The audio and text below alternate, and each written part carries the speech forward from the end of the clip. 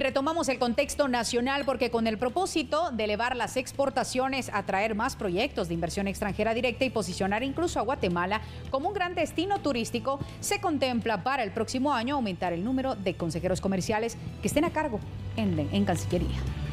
Guatemala busca ampliar su red de consejeros comerciales con el fin de atraer más inversiones y sobre todo elevar el nivel de las exportaciones a nivel mundial. Así lo han detallado autoridades del Viceministerio de Relaciones Exteriores en donde contemplan que en 2022 se abran nuevas sedes, en este caso en Tailandia, Italia, entre otros países. Eh, nosotros hacemos una revisión de las estadísticas comerciales, ¿verdad?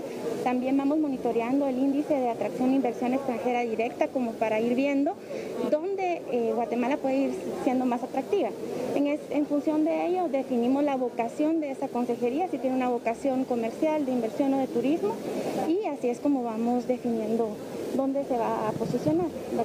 El próximo año, si todo sale bien, nos gustaría mucho poder contar ya con un consejero comercial en Italia, otro en Francia, quisiéramos también tener uno en Tailandia, ¿verdad? Porque los mercados del sureste asiático son, la verdad, bastante atractivos y que también hay que explorar.